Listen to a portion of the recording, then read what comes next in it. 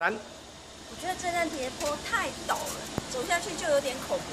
你人必须要这样子往后仰，然后非常慢、非常慢的下去。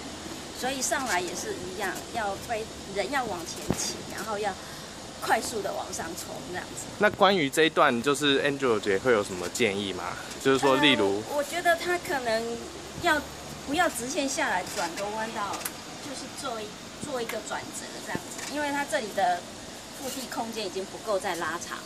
哦，这里的回转空间是吗？对对，这到墙了，没有办法再出去了。好的，谢谢。